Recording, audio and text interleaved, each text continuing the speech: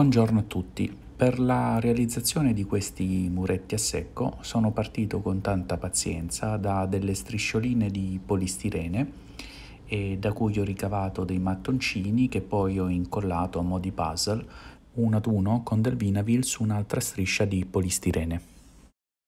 Poi ho passato sui mattoni un rullo con dei sassolini incollati per creare irregolarità e dare rilievo ai mattoni. Ho anche smussato i bordi delle pietre con il cutter e eh, ho ridefinito alcune fughe che si erano incollate con il Vinavil.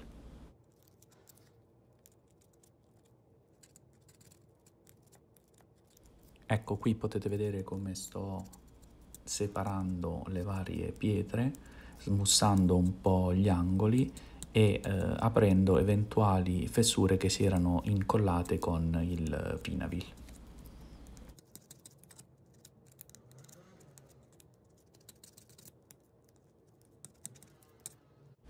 Sempre con il taglierino ho proceduto poi a evidenziare le fughe dei mattoncini applicati sul lato superiore del muretto.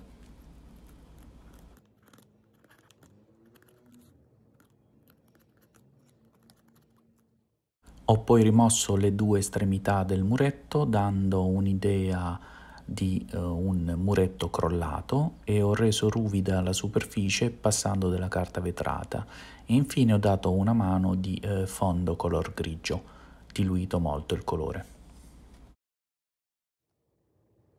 Ecco qui sto applicando del grigio su tutti i mattoni, un grigio molto diluito e al termine di questa operazione procederò a evidenziare le fughe.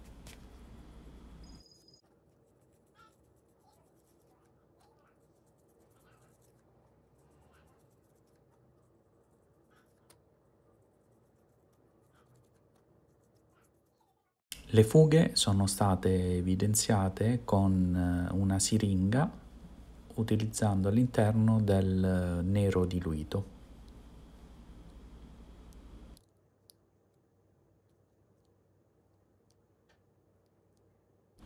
Dopo diverse iniezioni ho proceduto a eh, asciugare il colore in eccesso tamponando con dello Scottex.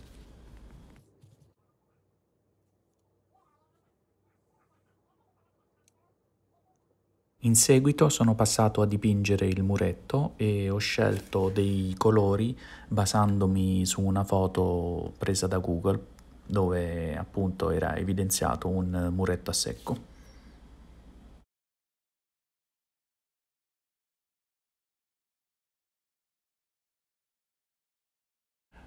Ho anche mischiato i vari colori ed effettuato delle sfumature sulle pietre per non renderle tutte uguali ovviamente sempre tamponando il colore in eccesso alla fine.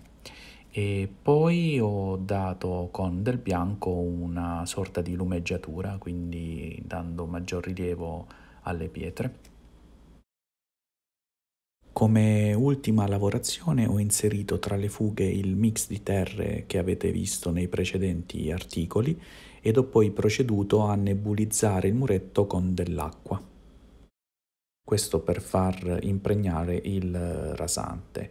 Eh, diciamo che una essiccazione quasi completa si ha dopo circa un'ora a 40 gradi e mm, non è proprio completa, comunque permette di rimuovere il grosso della terra eh, sempre tramite eh, pennellino. Dopodiché si può aggiungere anche della vegetazione.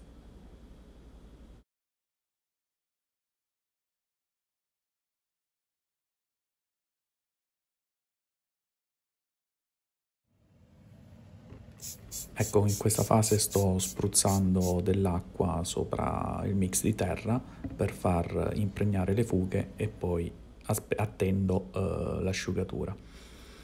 In quest'altra fase che vedete sto applicando della vegetazione, quindi dell'erba molto fine nella parte alta del muretto e poi procederò ad inserire nelle fughe qualche ramoscello.